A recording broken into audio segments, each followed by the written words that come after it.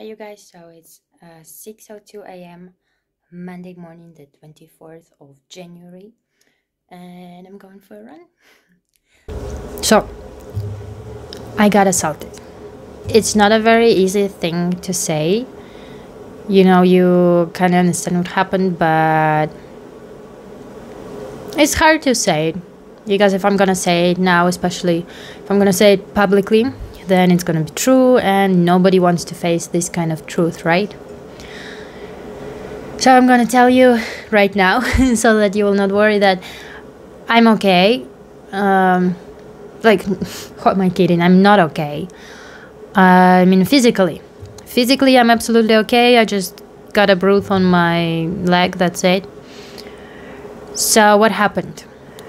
I started to make videos to be more committed to sports um, and running because running is uh, one of the sports that I really love. It's like you ask me, oh, okay, like you have to lose weight or you have to get fit. What do you want to do?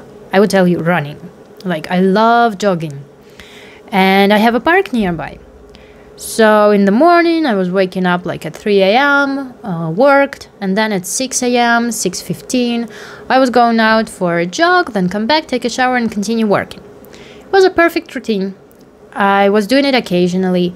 Then I decided to be more committed, so I started making a video for this channel. That yeah, cool, like I'm going jogging, and you can see that actually on this video I'm saying that I didn't feel safe because it's getting darker now in the morning. So I didn't feel safe there in the park. Like there were different groups sitting inside the park. There was the rat that was killing me. It is kind of weird to run in complete darkness in the park with weird people all around.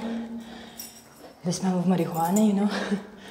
but but yeah, I did it. I ran about three kilometers. I really hope I will be okay tomorrow. I will go do some meditation now and yeah, keep you guys posted.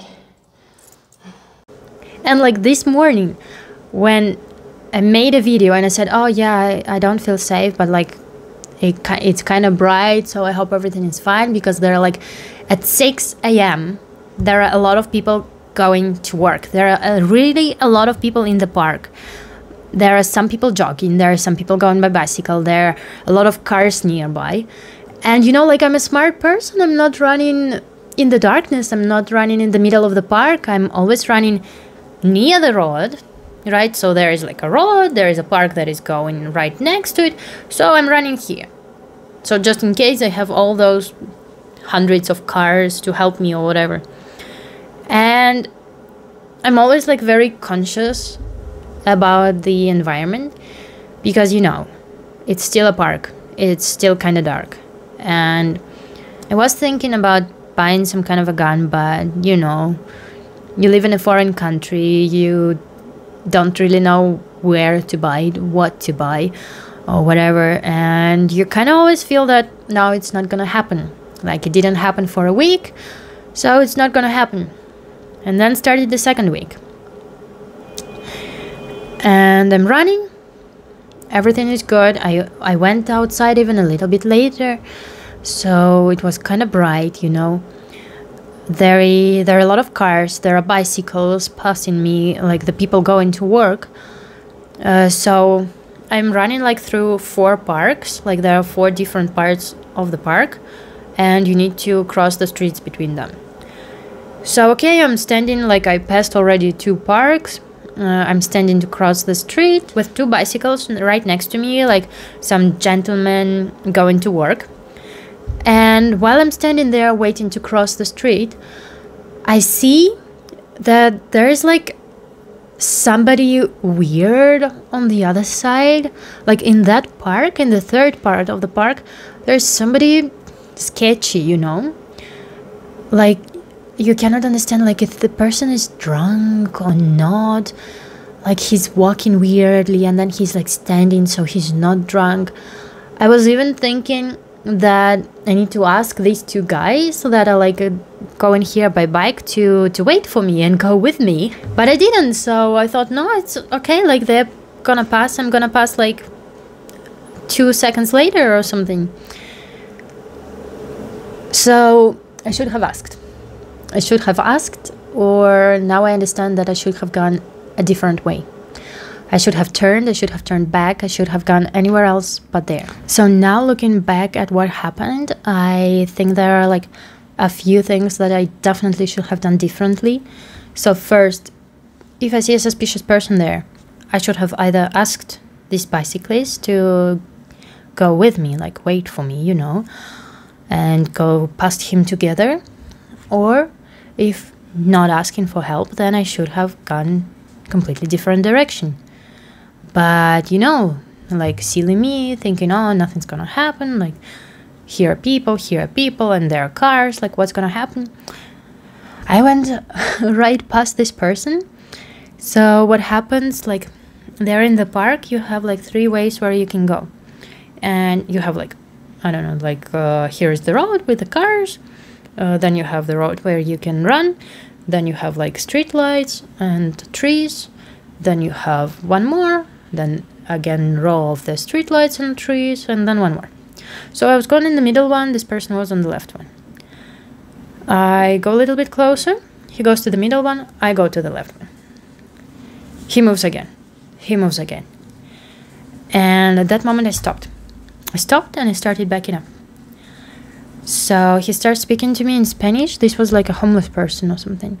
And he had a hand in his pocket, showing me like he had a gun or a knife, you know, some kind of weapon and like the stuff that he had in his pocket looked completely fake so i'm not sure if he really had a weapon but he put his hand in the pocket and started like getting close to me telling me that he needs my cell phone like you know it's not even the idea to lose everything that i have on my cell phone like all the information or to lose the cell phone itself. It's just the idea of injustice for me like like who are you and why would i ever give you my cell phone?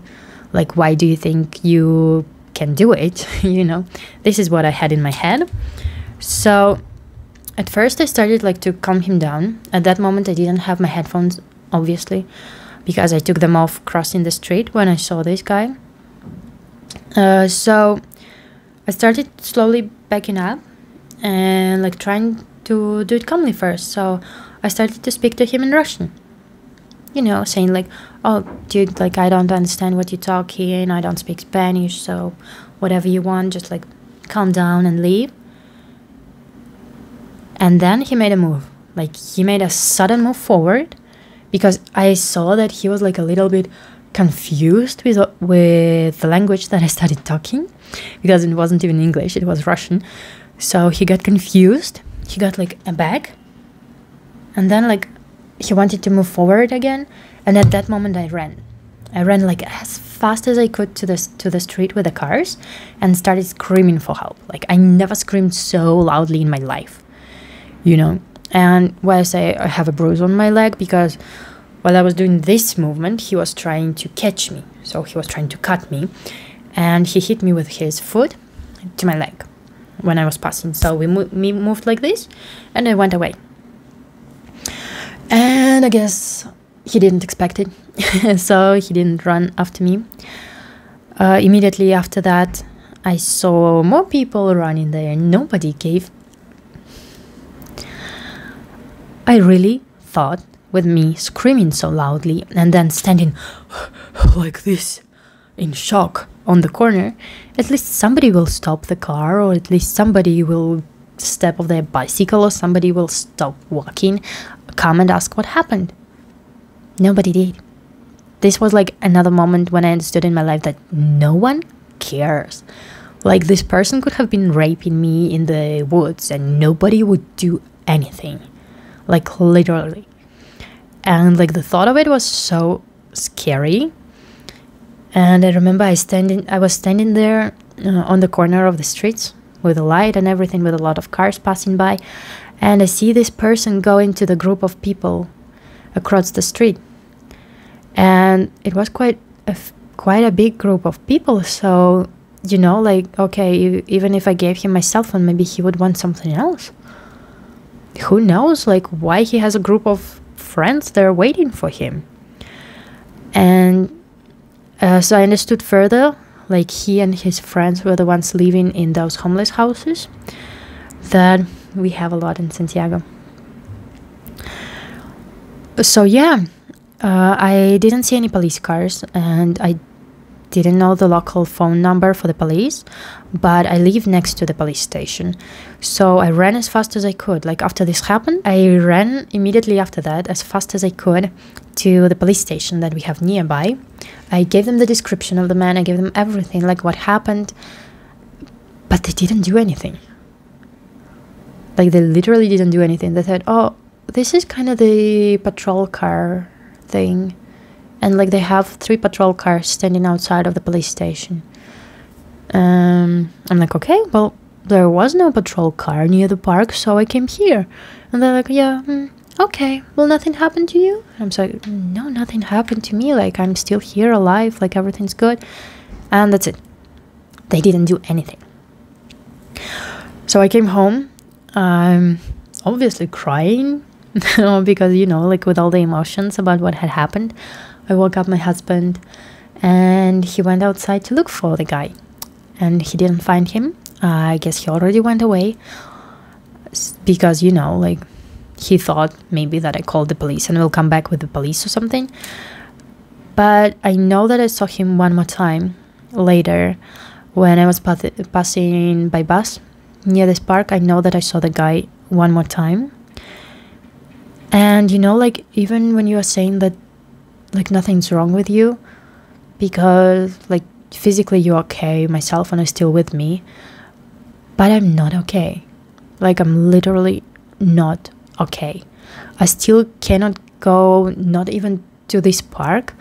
I cannot even go to that direction without the fear of meeting that person or somebody else who would have like the same intentions. So yeah, I will have to think how to change my training routine because I cannot go for a run anymore. But at least from all of this, now I have these. So, yeah. You know, at least I'm happy that I got out of it as fine as I could have. and I just want to warn you like, all the ladies running out there just be careful have some weapon with you. If you can run with a group. And you know just in general stay safe